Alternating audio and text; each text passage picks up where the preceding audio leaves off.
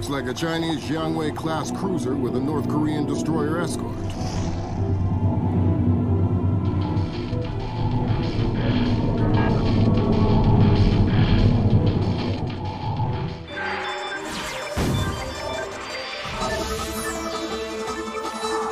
Events in the Yellow Sea took a turn for the worse today when North Korean and Chinese forces blockaded and boarded a Japanese cargo ship.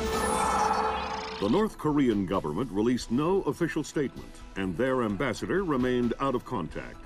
While at the UN, Chinese Ambassador Long Dan urged the U.S. and her longtime Japanese allies to remain calm, calling the blockades a legitimate response to what the rest of Asia views as a possible remilitarization of Japan.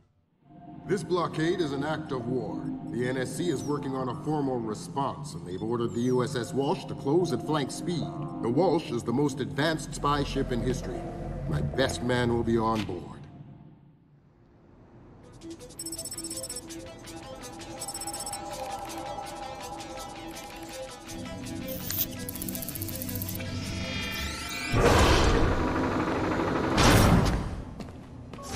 What do you know? Chinese and North Korean ships working together again. It's what we expected. That's a 056 prototype, Chinese. Exactly. How are your sea legs? I haven't lost them. Good. Because the 056 prototype isn't the only new fish in the pond. Admiral Toshiro Otomo, head of Japan's newly formed Information Self-Defense Force, had this to say. This is another distressing attempt by China and North Korea to further depress our faltering economy. The ISDF and Japan appeal to our allies for the military support promised us under the post-war constitution of 1946. The fact remains that in the eyes of many in Asia, the ISDF itself is a violation of the post-war constitution prohibiting Japan from maintaining a military force capable of striking beyond its borders. In Asia, the memories of Imperial Japan are still fresh.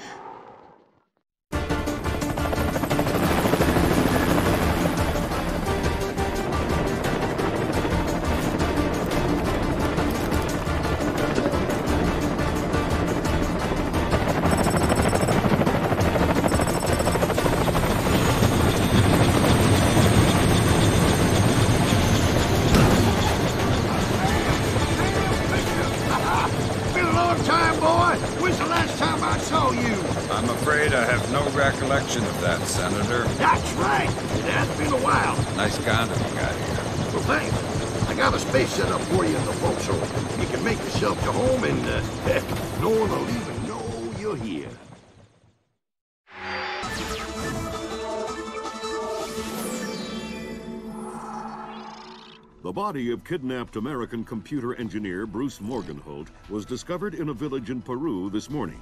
Implicated in the kidnapping and failed ransom attempt is Hugo Lacerda, alleged leader of the People's Voice, a newly formed guerrilla organization. Here we see the USS Clarence E. Walsh en route to the Yellow Sea for her first assignment amid rising tensions in the region. Dubbed the flagship of a 21st century fleet by Defense Secretary Mason, who reaffirmed America's commitment to our Japanese allies. It is our hope that the presence of the Walsh, now the world's premier electronic and information warfare platform, will help diffuse the tensions in the region.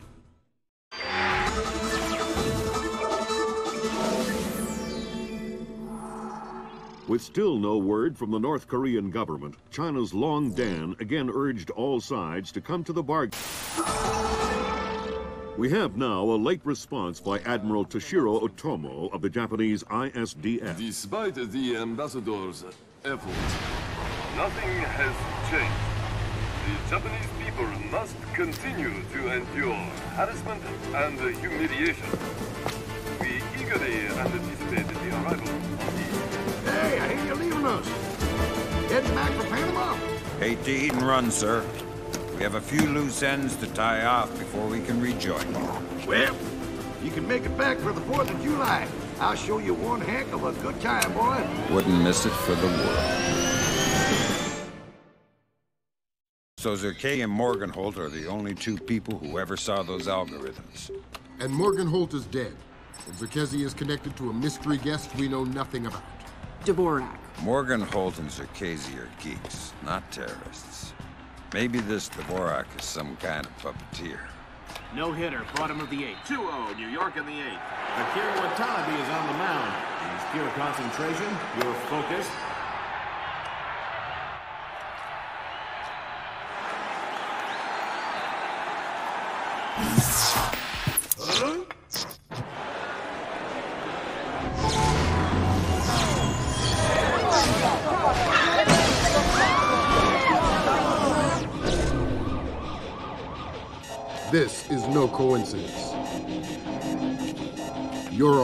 The Big Apple. Now coming to you from our New York City Broadcast Center, we have Patrick Dunn of Watershed Electric on the line. Mr. Dunn, what do we know at this moment? All we know so far is that this was not an accident. If it's not an accident, then it must be intentional. Both us and the Japanese have been hit by this thing. I think it's pretty obvious who's responsible. Here's Otomo. It appears we have something in common, Admiral. Our analysis of the information footprint shows that the pressures which collapsed our power grids appear in many ways similar to those that uh, collapsed our markets. I am certain the Koreans and the Chinese are involved. Let's not jump the gun here, Admiral. We've had our microscope on a man named Zherkezi. He had access to weaponized IW algos following that business in Georgia. He was also a major DOE consultant after the blackouts here in 2003. Yes, uh, we are aware of uh, this connection. Has Zherkezi been found? Not yet, but it won't take long. I'll keep you posted. As happy as we are to be back online here in New York, our thoughts turn to our loved ones who are defending us on this beautiful 4th of July. We go now live to the Yellow Sea where sailors aboard the USS Clarence E. Walsh are celebrating. We have Seaman Anthony Palmiera from Brooklyn, New York. Tell us, Seaman Palmiera, how you'll be celebrating Independence Day. Well, the captain's gonna have a, a big barbecue on deck. And tonight we'll have our own fireworks.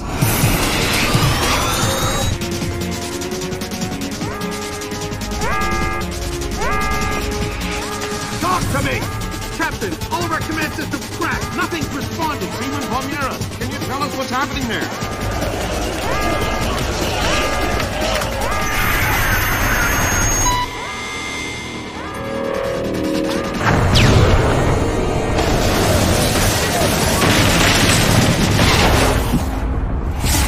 Sit tight, Sam. I'll call you back. It's the Koreans, Mr. President. I recommend that we declare war immediately. If it was Korea, there would be 200,000 men coming over the DMZ right now. Maybe it was an accident. Maybe uh, an exercise. A test launch gone wrong. That's impossible. The Koreans can't even detect the Walsh. Never mind track it on radar and sink it with a 30-year-old Chinese anti-ship missile. I have reason to believe the ship was crippled with an information warfare attack. Not a chance. The Walsh's systems are... Unhackable? The Walsh's EW suite is built on kernels first identified by two of the world's leading computational theorists. One of them was found dead in Peru last week. I'm about to pick up the other one.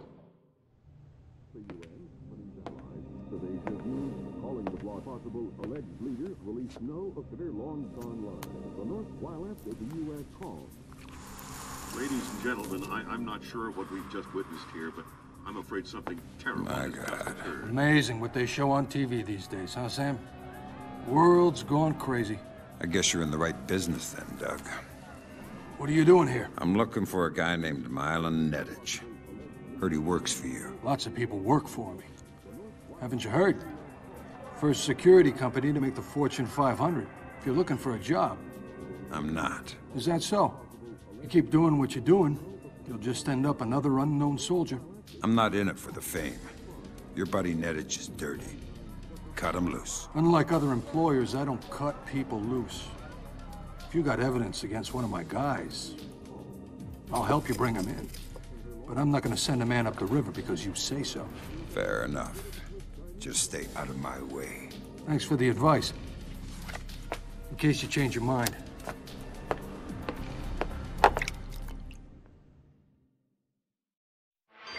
Today, Ambassador Long Dan announced Chinese support for the North Korean claim that they did not intentionally launch the missile that sank the Walsh. We are monitoring these developments while continuing to seek a peaceful resolution. Make no mistake, the Chinese People's Republic will employ all means at our disposal to protect our interests in the Asian subcontinent.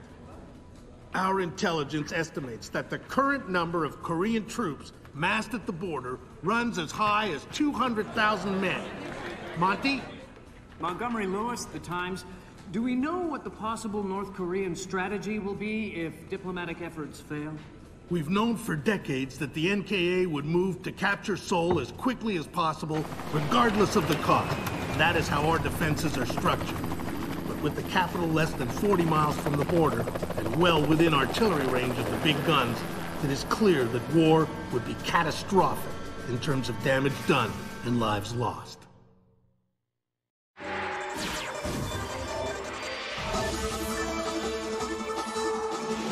Initial estimates place the combined casualty count for the first 24 hours at, oh my god, 6,000? Is this a typo? 90% or more of those are enemy casualties. Estimates put our losses at less than a thousand men. Less than a thousand? You say that like it's a good thing. Sir, it's paranoia. Our saber rattling has their leadership in a panic. It's a preemptive strike. Our own intelligence indicates that they didn't launch that missile intentionally. And until we can prove it, Seoul is on the block. What are our military options for holding the city? No reasonable strategic assessment has ever claimed it was possible without nuclear capability. And if that's the way it has to be,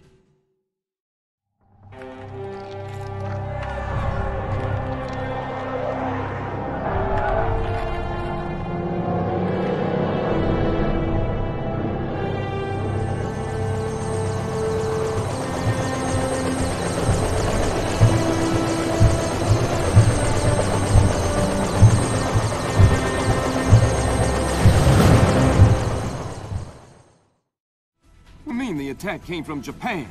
They're our allies. Mr. President, these attacks represent the most sophisticated application of information warfare ever imagined. The missile launch came through Japan, yes, but it seems likely it was triggered by elements of a private security operation. Displace International. Displace? That's Doug Shetland's outfit. We have contracts with them. Who's Shetland? Former Marine recon, among the very best. He was one of my top candidates for third echelon a few years ago. No love lost for the military or the United States. Rumor is that we hung him out to dry for political reasons over an incident that wasn't his fault. We can only speculate as to what his agenda is. Well, how do we defuse the situation until we know? Maybe the Chinese can help.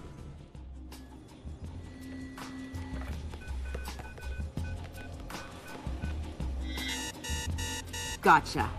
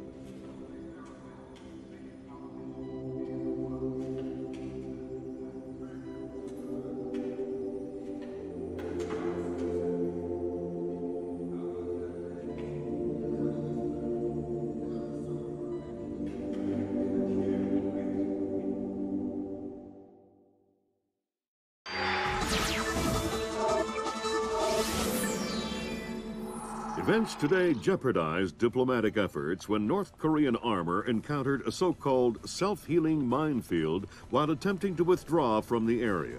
North Korean forces were adequately cautioned that self-healing minefields along the DMZ should not be considered cleared obstacles.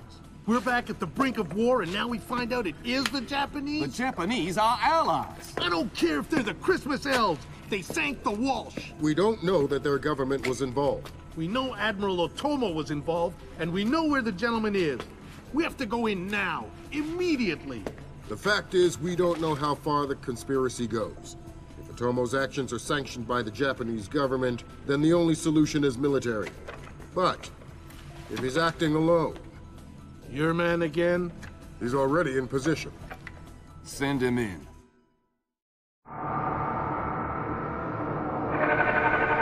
Jong Pong Chu is a South Korean chemist suspected to be working for the North Korean Cabinet Intelligence Bureau. Under interrogation, Pong Chu confessed his involvement in delivering highly classified bioweapon research to agents of the CGIB. The CGIB then blackmailed him into acquiring heavily regulated viral engineering equipment, which he smuggled through Panama on their behalf. Our investigation of Jong's reported telecommunications activities over the past few months makes it clear that the North Korean government may be using his intelligence and his equipment to manufacture biological weapons in a series of old bunkers near Nampo Sea. Your mission is to infiltrate the bunker complex, identify any chemical or biological weapons, and recover samples of any agents being developed. Ready? Welcome to the big leagues. To make the grade as an official unofficial splinter cell, you need to keep a low profile. Keep it discreet. We don't want to reignite the war.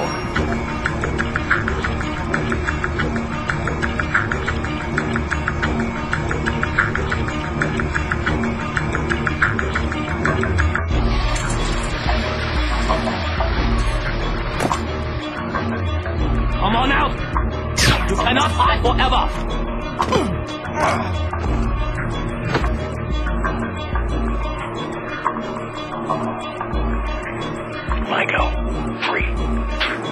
One, go.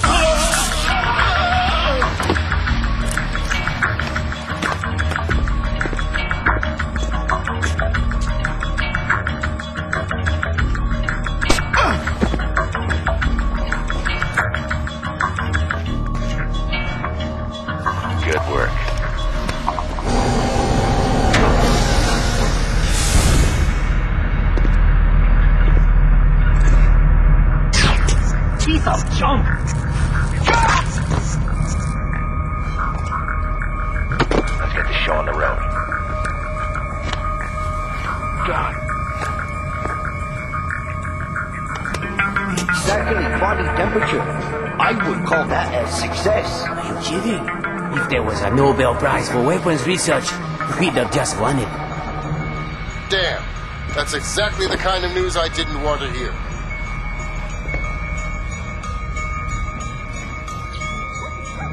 Good girl, Java. Good girl. Oh, you are. Oh, God. I will tell you everything. The code is 5791. You will find what you are looking for in there.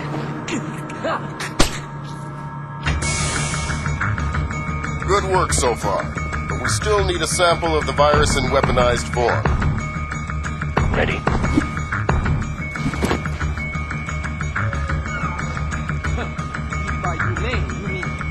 Hours of having your immune system turned against you, liquefy your internal organs, and cause you to explosively hemorrhage infectious goop out of every orifice until you boil.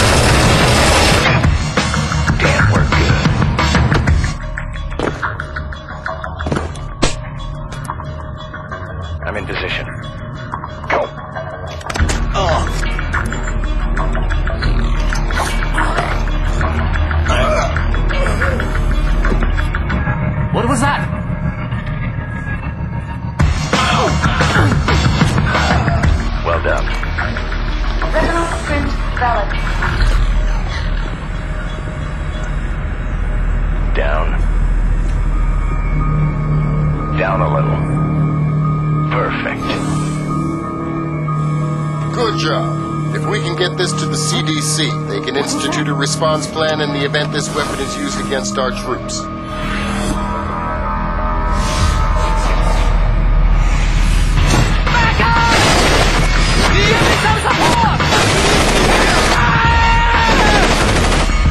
Nicely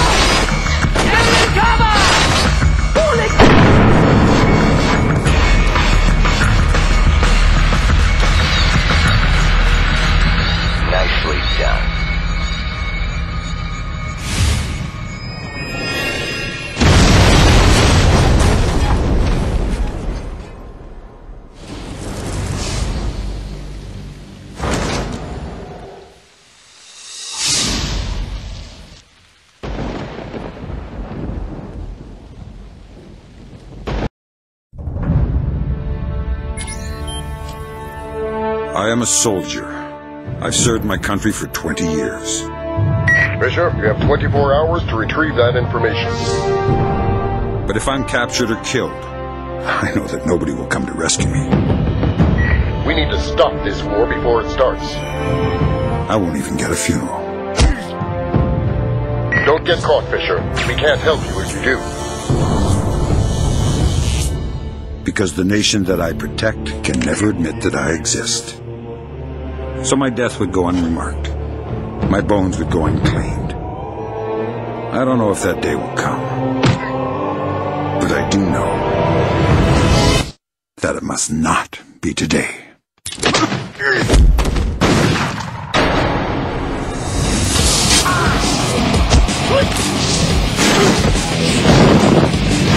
I am invisible.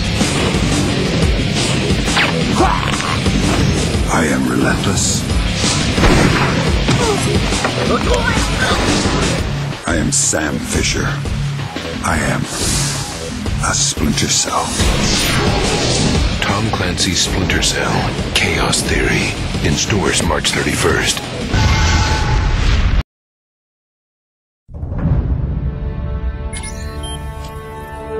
I am a soldier.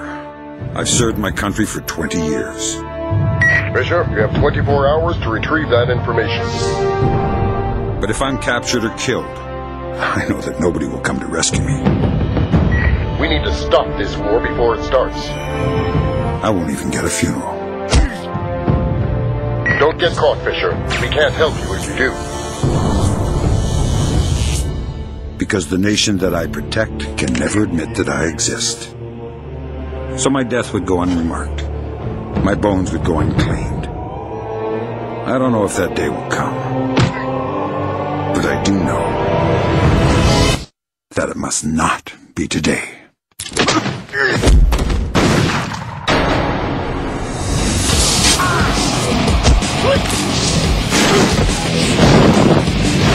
I am invisible.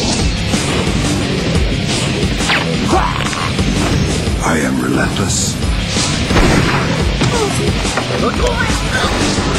I am Sam Fisher. I am a Splinter Cell. Tom Clancy's Splinter Cell, Chaos Theory, in stores March 31st.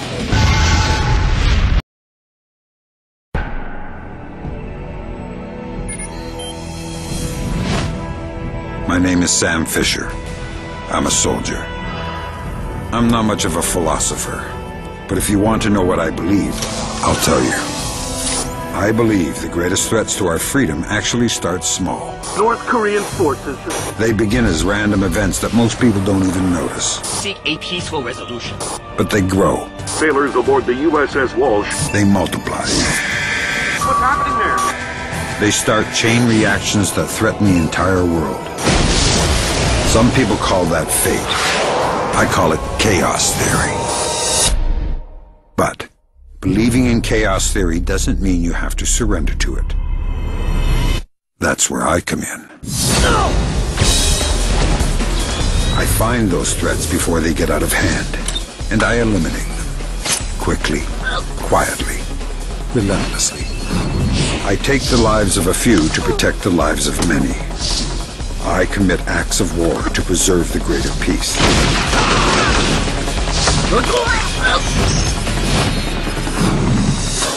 Take no joy in killing, but make no mistake. I'll do what needs to be done. Because it's my job. It's my duty. My name is Sam Fisher. And I am a Splinter Cell. Tom Clancy's Splinter Cell Chaos Theory. Coming March 2005.